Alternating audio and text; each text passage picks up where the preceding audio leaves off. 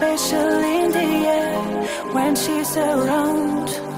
She's a devil in disguise. If you dare to look her eyes, she will trap you like a prize again and again. Oh.